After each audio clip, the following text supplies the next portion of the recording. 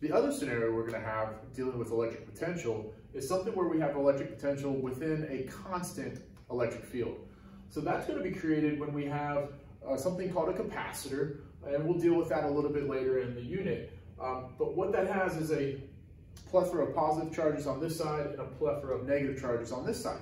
What that's going to do is that's going to create an electric field that is uniform. So the density of my field lines are stays the same to show that the electric field is constant, right? You might have a little bit of fringe field here on the ends, but for the most part, our electric field is constant when you're within those two plates. So what does electric potential look like? Well, usually these are connected to a battery, and that battery is going to provide some potential difference. For here, we'll call it uh, 2 volts. So what does the electric potential look like inside there? What that means is, essentially, if this has a voltage of 2 volts, this would have a voltage of 0 volts. That's one option that would work. Another option that could work would be if this had a voltage of positive 1 volts, and this has a voltage of negative 1 volts. That's still a potential difference of 2 volts. And what I could do is I could find the voltage at certain positions based upon how far apart these two plates are spread. So the distance apart and their potential difference can give me the equation for the electric field, which is the potential difference of the voltage divided by the distance separated they are apart. I think the AP actually has it listed like that. Okay? Now, how can we use that here? Um, and so what I'm going to do is I'm just going to show this middle is 0 volts. We'll say this is 0.5 volts. So this is negative 0.5 volts for my equal potential lines. Notice again, my equal potential lines are perpendicular to my electric field lines, okay? So how can I use this? Why is this useful in understanding when we have charges that are going to move?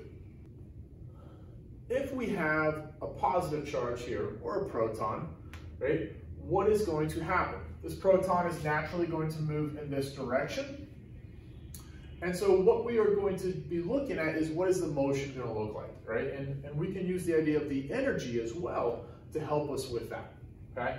So uh, the energy is going to be symbolized with U. The energy is going to equal the charge times the voltage, right? Remember, this is energy per unit of charge. So to find energy, we need to multiply those two together right? That would give me my energy in joules. Because we had coulombs times joules per coulomb. Coulombs cancel out and we're left with joules. So what I can see is, what's the change in energy? Right? The equation we're going to use is this. The change in energy equals the charge multiplied by the change in potential.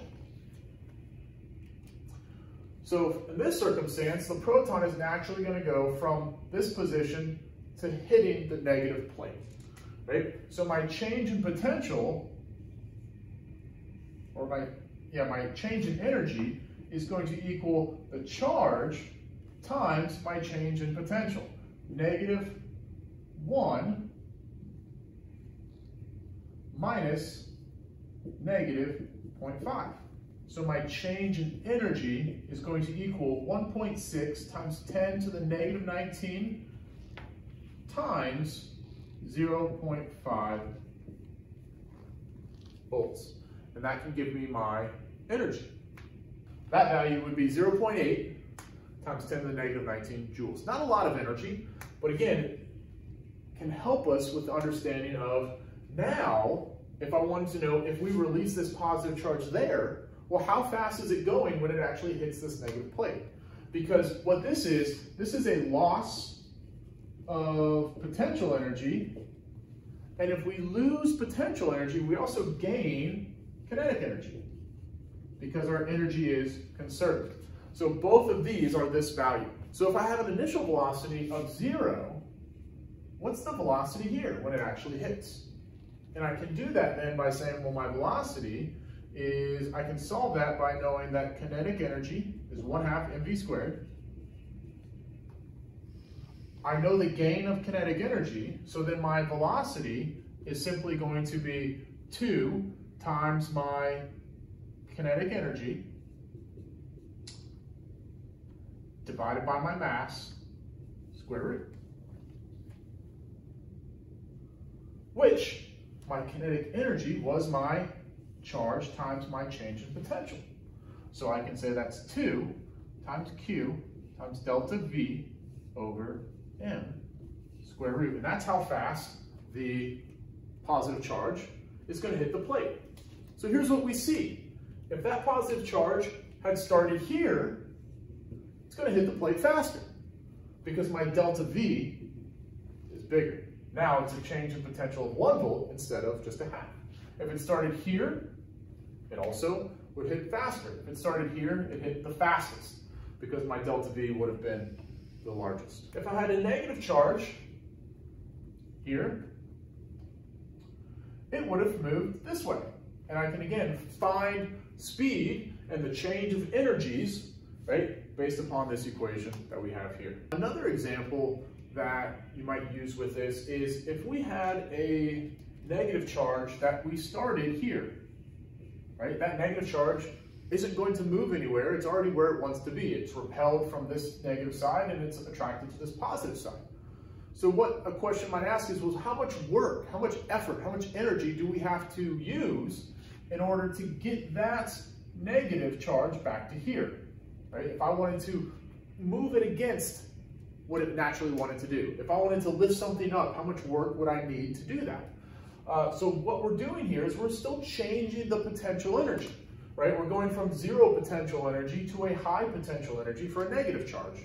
Remember, a negative charge naturally wants to go from a low potential to a high potential, okay? Well, so here's some things that we can know. This is our equation, change in energy equals charge times change in voltage, or change in potential. What we also know is that work is a change in energy. So however much work I do, that's how much energy I change because they are both the same, right? Work is measured in joules and so is energy. Work is force times distance, and that still gives me a change in energy. So if I'm asked for the force, or I'm asked for the distance that things move, I can still use this equation because the idea is not only is it a change in potential energy or a change in kinetic energy, it is also how much work can be done.